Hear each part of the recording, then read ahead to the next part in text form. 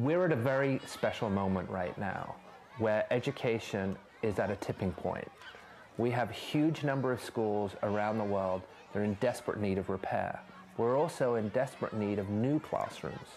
If we don't think about how to design the classroom of the future, we're going to be repeating the same mistakes again and again and again. The last thing we want to do is build new classrooms with old failures. Next couple of years, we're going to have to build 10 million new classrooms. And we're in the range of 10 to 15 million classrooms that are in desperate need of repair. So right there is what the World Bank is calling the world's largest construction project ever undertaken. The Open Architecture Challenge is an open competition to allow anyone to design the classroom of the future.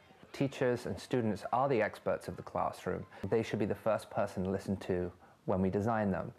If you're a student, this is your one opportunity to make a difference not just in your environment, but future environments for generations to come.